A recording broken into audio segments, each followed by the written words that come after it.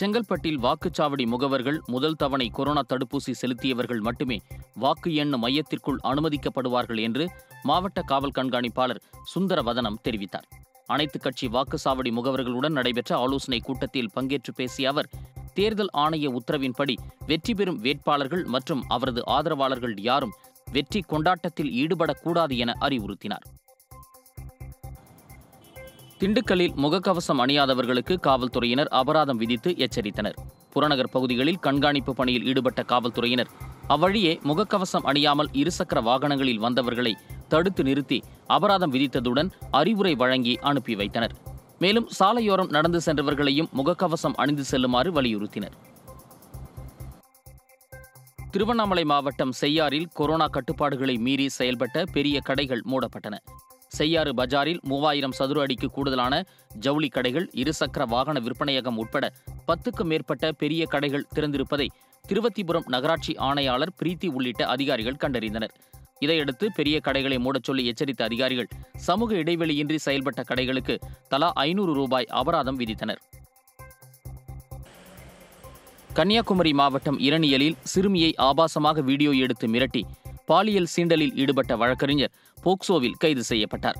கல்படி பகுதியைச் சேர்ந்த பதினாறு வயது சிறுமி அங்குள்ள ஆற்றில் குளித்ததை மறைந்திருந்து வீடியோ எடுத்த வழக்கறிஞர் சதீஷ்குமார் அதனை சிறுமியின் முகநூலில் பதிவிட்டுள்ளார். மேலும் இணையத்தில் பதிவிடுவதாக மிரட்டி பாலியல் துன்புறுத்தலில் ஈடுபட்டதாக கூறப்படுகிறது. இதுகுறித்து சிறுமி அளித்த புகாரின் பேரில் குளச்சல் மகளிர் காவல்துறையினர் வழக்கறிஞரை போக்சோ சட்டத்தின் கீழ் கைது செய்து சிறையில் அடைத்தனர். திருவண்ணாமலை மாவட்டம் வந்தவாசி அருகே பதினேழு வயது சிறுமியை பாலியல் வன்கொடுமை செய்த கார் ஓட்டுநர் போக்சோ சட்டத்தின் கீழ் கைது செய்யப்பட்டார். பொன்னூர் கிராமத்தைச் சேர்ந்த சிறுமியிடம் அதே பகுதியைச் சேர்ந்த விஜயகுமார் திருமணம் செய்வதாக கூறி பாலியல் வன்கொடுமை செய்துள்ளார்.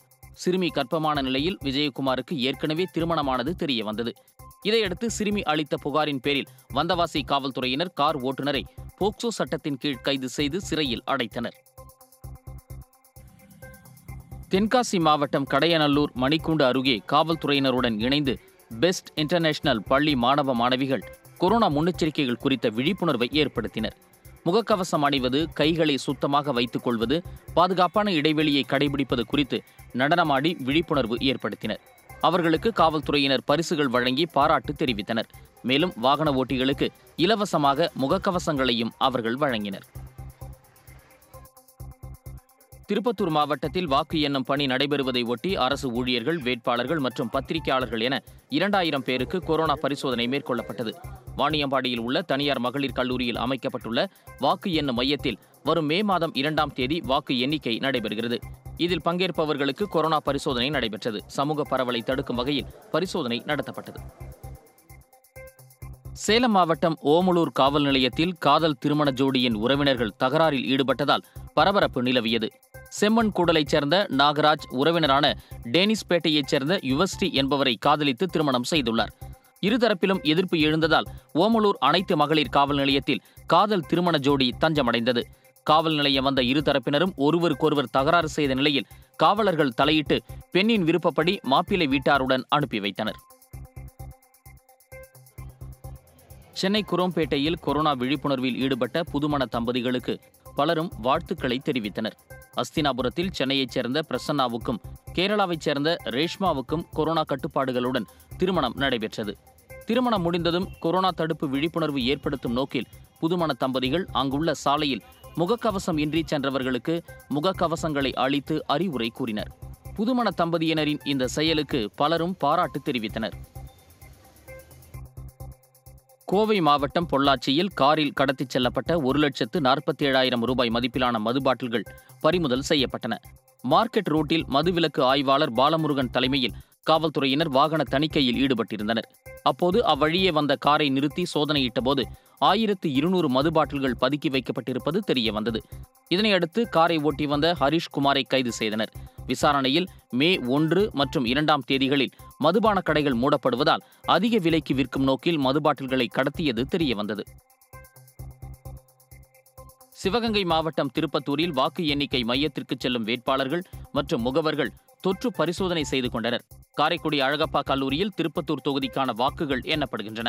இம்மையத்திற்கு செல்லும் வேட்பாளர்கள் மற்றும் முகவர்களுக்கு ஆட்சியர் மதுசூதனன் ரெட்டி உத்தரவின் பேரில் தொற்று பரிசோதனை முகாம் நடைபெற்றது. இதில் அதிமுக வேட்பாளர் மருது அழகராஜ் உள்ளிட்டோர் பங்கேற்று கொரோனா பரிசோதனை செய்து கொண்டனர்.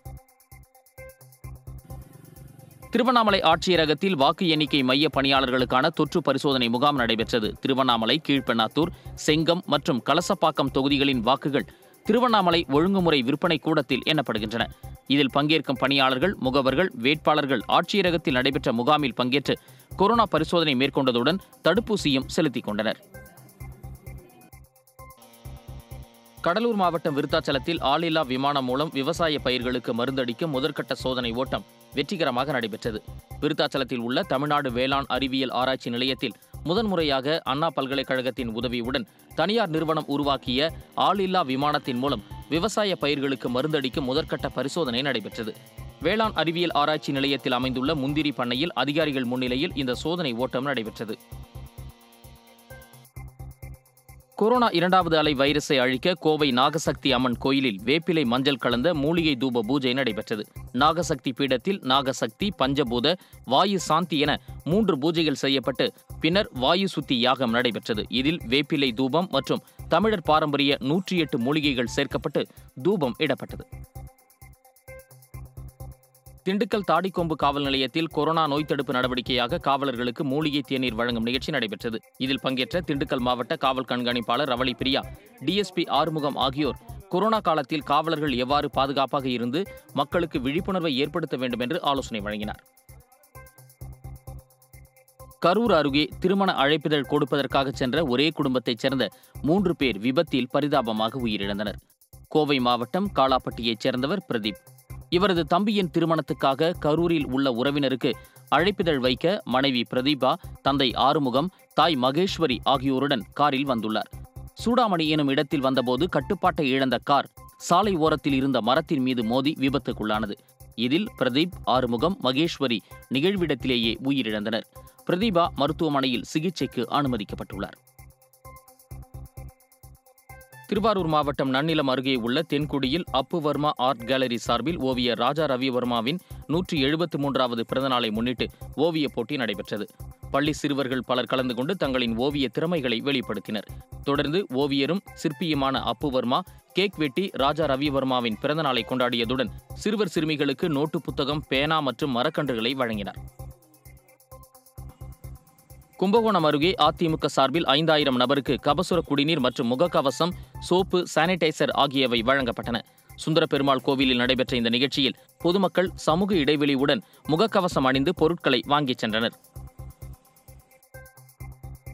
மதுரை மாவட்டம் உசிலம்பட்டி அருகே வயது மூப்பின் காரணமாக மனைவி இறந்த சோகத்தில் கணவனும் உயிரிழந்தது. நெகிழ்ச்சி கலந்த சோகத்தை ஏற்படுத்தியுள்ளது. சிந்துப்பட்டி கிராமத்தைச் சேர்ந்தவர்கள் ராமதேவர் சோங்கம்மாள் தம்பதியினர். இணைப்பிரியாத தம்பதிகளாக வாழ்ந்து வந்தனர். இந்நிலையில் தொன்னூற்றி இரண்டு வயதான சோங்கம்மாள் வயது மூப்பின் காரணமாக உயிரிழந்தார். இதையடுத்து துக்கத்தில் இருந்த ராமதேவர் மனைவியின் சடலம் அருகே அமர்ந்து அவரும் உயிரிழந்தார். இறுதி காலம் வரை ஒருவரை ஒருவர் விட்டு விலகாமல் வாழ்ந்து வந்த இந்த தம்பதியினர் இறப்பிலும் ஒன்றாக இணைந்த சம்பவம் அப்பகுதி மக்களிடையே நெகிழ்ச்சியை ஏற்படுத்தியுள்ளது.